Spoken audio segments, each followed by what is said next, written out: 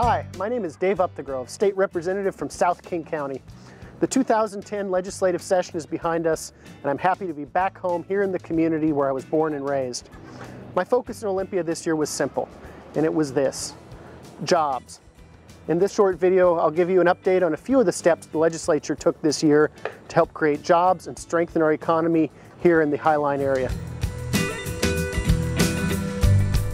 In order to have good jobs and a strong economy, we need to keep South King County a great place to live.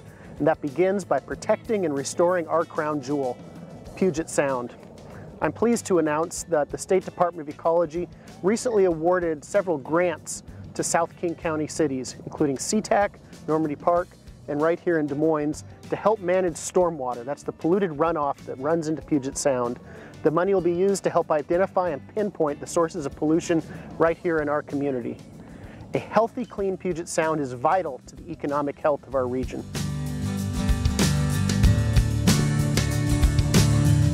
In other good news, funding for the cleanup of contaminated playground soils has been protected in the budget. For years, the old ASARCO smelter in Tacoma spewed arsenic and other heavy metals into the air, much of which settled into the soils throughout the Pacific Northwest. Some of the highest levels of contaminants were found in the Normandy Park area. A couple years ago, I sponsored and passed a bill that cleaned up the soils in those areas that children were most susceptible. Playgrounds, playgrounds like this one here in Normandy Park. Continuing to fund this program is essential to keep our kids safe and our communities healthy. Within SeaTac Airport's runway protection zone are several athletic fields where Highline area children play Little League sports. For years, the Port of Seattle has leased the fields to the Little League organization at a discount rate. The state auditor recently questioned the low lease rate. Federal law already allows airport operators to make airport property available for public use at less than market value. So I sponsored a bill to line up our state law with the federal law. The measure passed overwhelmingly. This bill meant a lot to me personally because when I was growing up as a child, I actually played Little League on these very same ball fields, and I want future generations to have that same opportunity.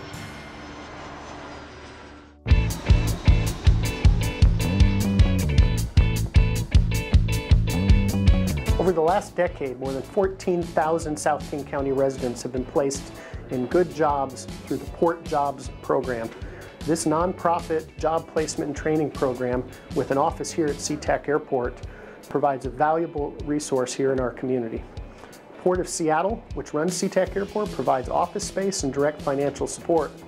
Unfortunately, the state auditor recently questioned whether or not this is an appropriate function for the port to engage in port districts are allowed to engage in economic development activity, but a question was whether or not workforce development was included in that definition. That's why this year I introduced legislation which passed into law to clarify that port districts can support workforce development programs like this so that port jobs can continue to stay open and serving our community. In these tough economic times, it's more important than ever to invest in job placement and job training programs here in our community. Continuing our focus on jobs, the state legislature this year approved the Jobs Act of 2010. This measure will put people to work repairing and upgrading our local public schools to make them more energy efficient. Examples here in our community in the Kent School District include Kent Meridian High School could get all of their windows replaced with thermal energy efficient windows. At Neely O'Brien Elementary, the entire lighting system can be upgraded and replaced with energy efficient lights.